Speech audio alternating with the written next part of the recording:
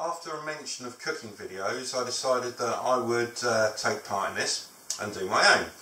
So I've gone for a Cambodian dish, arguably their national one, called Loc Lac, which is made from beef. Very tasty, it's healthy, and it's very, very simple. Also a slight bit of cheating, chopped garlic from the freezer, and ginger, because they tend to go off sitting at home otherwise, because I use them so infrequently. Can't really go into work stinking of garlic. Right, so the marinade. I've got three blocks of ginger, that's about 50 grams. A couple of small chilies, I've taken the stalks off obviously. Got two, table, two tablespoons of um, palm sugar, which I've had to smash up with a hammer because it had gone a bit hard. And I've got two tablespoons of garlic. So they're going to go in as well. I'll do it a bit tidier in a minute, but for an idea that that'll do. Okay, we want about mm, two teaspoons of cracked black pepper. This is for the marinade, remember? So I've got something like ooh, 70 or 80 turns in there now because I'd already done something at the lid beforehand for speed. That's why it's all gone everywhere. Okay, soy sauce. I want six tablespoons of this. You want the dark soy, not light soy. It's got to be really pungent, really rich. Fish sauce. Ugh, stuff stinks. Right, two tablespoons of this. This you find all over Southeast Asia as, as kind of one of the main ingredients. I really planned it wrong, so uh, going for a larger cup on the processor.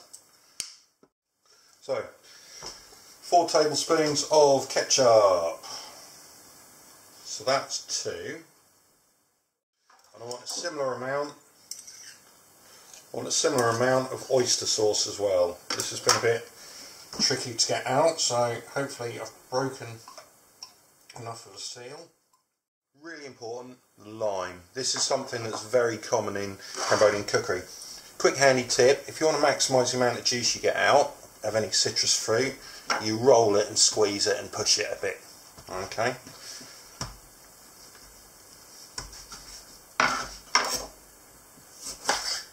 Quick halve it and uh, juice it. So we want one lime's worth. Okay.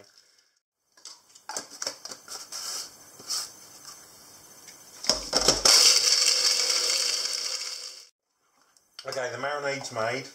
There's absolutely loads in here. And a quick taste. Mmm. That's really strong. Well, quite a kick. With the meat, okay, the problem I've got here was all the fat. So I've got to cut that out because you want to go for lean beef on this. Okay. Okay, so cut out all the fatty bits, sinewy bits. What you're wanting is nice lean pieces okay and you want to slice it quite thinly and sort of a bit flat. Okay I'm using top rump on here which is a, a, a roasting joint. You know top rump or silver side top side something like that is ideal for this. You can use sirloin rump or fillet if you really want to but you know to be honest it's not necessary. Slice this nice and thin okay? Right look at that that's that's kind of what you're looking for, up to about that thickness. Okay. Right, so here's my lovely parlour beef, all slashed up, cut up, torn, ripped, nice and small, nice and thin. So it's going to go into the marinade. That needs to sit there at least 20 minutes. Okay, I will leave it for considerably more. Oh, it's a lovely thick marinade, it's a lovely thick sauce. Get it all mushed up and in there and really get it coated. Very important, the dipping sauce. Cracked pepper, loads of, and lime juice. Just get it all out there. These little wooden um, juicers are very, very good, very efficient. But they do make a bit of a mess. Give a quick stir with that. I'm only cooking for myself, so I'm not worried about quarantine. Let's have a taste of that. It's good. Just needs to develop a bit. Give it half an hour and that'll be gorgeous. All infused. Another key part of this recipe is chopped peanuts. This is very important vegetable and source of protein in Cambodia, so it features heavily amongst their dishes. So just normal, cheap peanuts. These ones are salted. You can wash the salt off if you want. I tend to keep it because I'm quite a fan of salt. So just keep doing that until you've got enough, basically. Right, I'm ready to roll. Traditionally it's served with sliced tomato, thinly sliced and shredded up onion, wrapped in a lettuce leaf, which is then dipped into the lime and pepper sauce. And also sprinkle on a few chopped up peanuts. So this is how the beef is looking at the moment. There's the wok. You want a wok for this because obviously you've got to keep tossing it around and that. Right, once your pan is really nicely hot, nicely oiled up, you want to use vegetable oil, not not olive oil because that burn. Pop your beef in, start whizzing it around. Oh, that smells really good.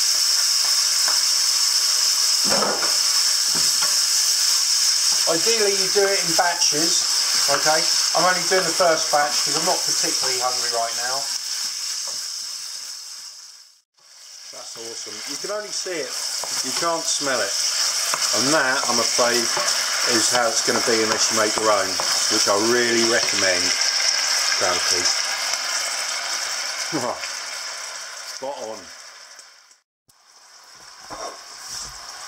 So, now it's ready, just transfer it to a serving plate. Right, now it's done. Get a little bit of beef, stick it in there. A bit of tomato, some peanuts, a little bit of onion. Okay, this is the way the Khmers eat it. Get your dipping sauce. Then you want to roll it all up. Nice tidy little package, ideally. It's quite messy dip it in.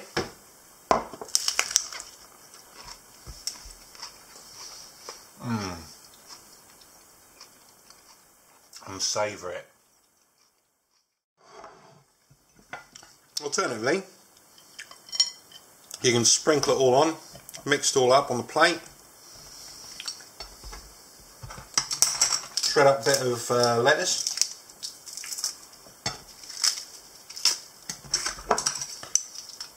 Sprinkle a little little um, with dip on. Eat it like that. And try and get a bit of everything on, which might not be easy.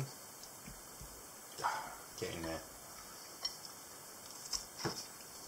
Mm.